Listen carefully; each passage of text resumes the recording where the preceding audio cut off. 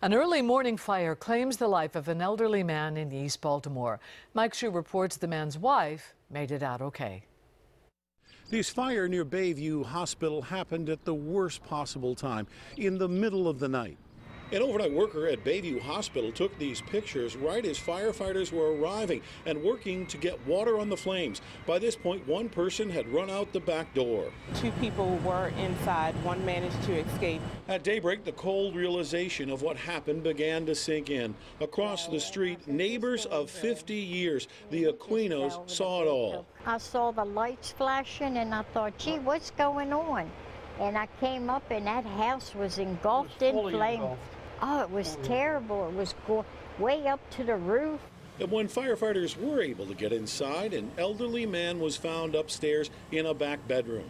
So I knew they were home and I just prayed that they were okay.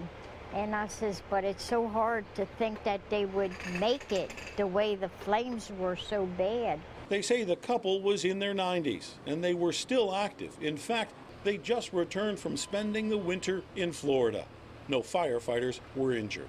The fire department says that the wife is at a nearby hospital listed in good condition. I'm Mike Schuh, WJZ Eyewitness News, reporting from East Baltimore. Back to you on TV Hill.